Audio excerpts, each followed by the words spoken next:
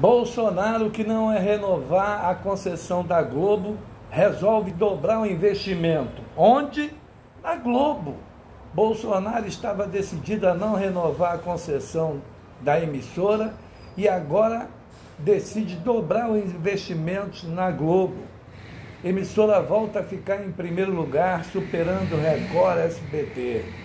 Repasse para grupos evangélicos e católicos cai para um terço na comparação com 2020. Repito, a Globo foi o maior cabo eleitoral de Bolsonaro.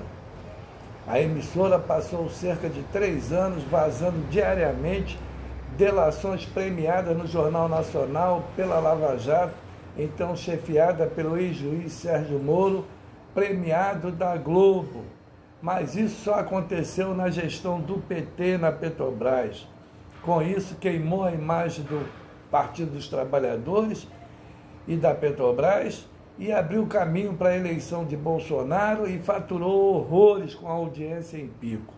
O Tia Intercept Brasil denunciou em áudio Deltan Dalanal. Não passem para frente, vamos dar para o Jornal Nacional de amanhã, em princípio. Lógico que houve corrupção na Petrobras e sempre tem que ser investigada.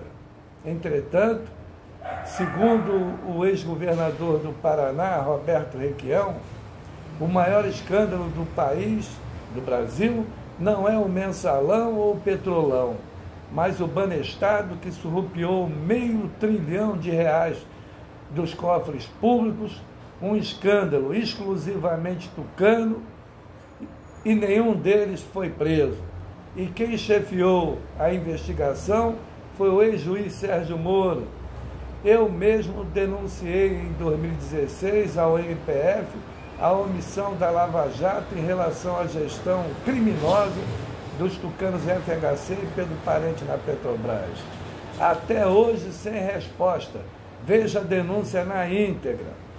Comprar ou se vender para a Globo, isso seria uma bomba se fosse qualquer outro presidente. Mas em se tratando de dominto, tudo é possível. Não sou vidente, pai de santo, cartomante, mas costumo dar palpite e quase sempre erro. Bolsonaro na eminência da derrota.